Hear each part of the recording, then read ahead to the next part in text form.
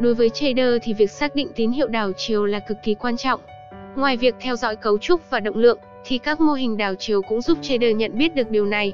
Và mô hình swing failure là một trong những mô hình có sự giúp ích rất lớn trong việc này. Swing failure pattern là mô hình được rất nhiều trader chuyên nghiệp sử dụng. Sau đây chúng ta sẽ đi tìm hiểu về cách sử dụng cũng như giao dịch mô hình này như thế nào nhé. Swing failure pattern SFP tạm dịch là mô hình phân kỳ âm. Đây là một trong những mô hình đảo chiều được nhiều trader chuyên nghiệp sử dụng. Mô hình này có thể được áp dụng để xác định sự thay đổi của xu hướng, thậm chí nó được sử dụng như tín hiệu đảo chiều. Đối với các trader giao dịch theo xu hướng, tín hiệu mà họ luôn chú ý tới chính là những tín hiệu đảo chiều. SFP chính là một trong những mô hình mà trader có thể áp dụng. Nếu cuối xu hướng xuất hiện mô hình SFP, thì đó là dấu hiệu đầu tiên cho thấy xu hướng có khả năng đảo chiều. Mô hình SFP xảy ra khi xu hướng hiện tạo được đỉnh cao mới trong xu hướng tăng, hoặc tạo được đáy thấp hơn trong xu hướng giảm. Như hình bên trên, đây là tín hiệu cho thấy những người giao dịch theo xu hướng đang mất đi động lượng. Tín hiệu này sẽ giúp trader biết được có nên tiếp tục giao dịch theo xu hướng hoặc thoát lệnh. Mô hình này cũng có thể giúp trader xác định những vùng giá chất lượng để giao dịch. Bây giờ chúng ta xem qua cách thức giao dịch và một vài ví dụ về mô hình này nhé.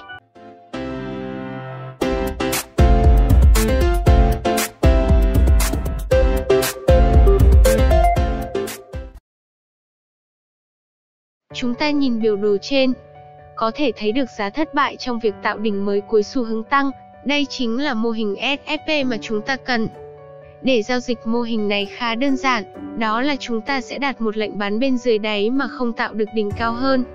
Tiếp tục với biểu đồ này, chúng ta có thể thấy sau đó có một nến giảm mạnh phá vỡ mức đáy trước đó và khớp lệnh bán theo mô hình SFP. Các bạn nhìn hành động giá tiếp theo đó, ta có thể thấy lệnh bán trước đó là hợp lệ và đã có lợi nhuận. Chúng ta có thể sử dụng kháng cự hỗ trợ, hoặc sử dụng đỉnh đáy của cấu trúc thị trường trước đó đặt điểm chốt lời mục tiêu. Chỉ báo giờ SI có thể giúp trader xác nhận lại tín hiệu từ mô hình này một cách hiệu quả.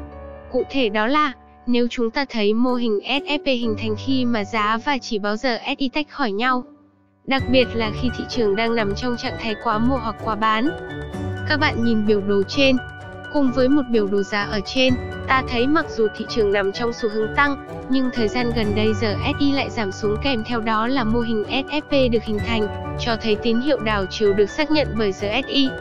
Tín hiệu giờ SI ngược lại so với nỗ lực tạo đỉnh mới của giá. Dưới sự xác nhận lại của giờ SI sẽ càng gia tăng sự hợp lệ của mô hình SFP, và khả năng đảo chiều sẽ cao hơn nếu giá phá vỡ đây trước. Ngoài chỉ báo gì thì chúng ta cũng thể sử dụng những chỉ báo kỹ thuật khác để xác nhận lại sự hợp lệ của mô hình này như chỉ báo MACD, Stochastic. Mô hình SFP xuất hiện khi những chỉ báo này nằm trong vùng quá bán hoặc quá mua là tín hiệu hợp lưu mạnh mẽ cho thấy động lượng của xu hướng hiện tại đang yếu đi và xác suất cao thị trường sẽ đảo chiều. Nói tóm lại, đây là mô hình đảo chiều mạnh mẽ đa phần là được xác định ở cuối xu hướng. Trader có thể kết hợp thêm với các chỉ báo dao động khác để xác nhận lại cho chất lượng của mô hình.